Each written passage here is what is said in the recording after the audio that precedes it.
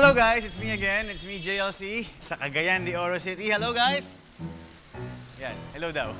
Andito ako ngayon because merong isang mommy at isang daddy na hinamon ko sa isang basketball challenge. Kung sino sila, alamin natin and samahan niyo ako as I give them a special magic package.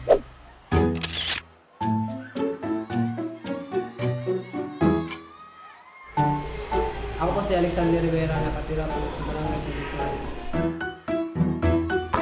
Si Maricel Bisaya, isang housewife. Nakatira po ako sa Cagayan de Oro City.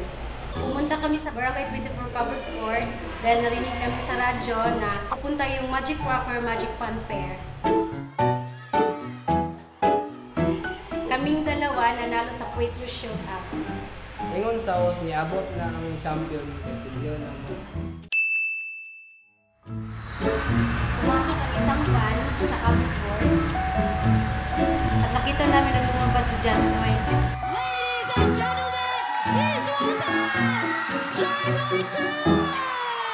Sobrang saya ko talaga dahil hindi ko ma-expect na si John Lloyd talaga yung nasa loob ng van.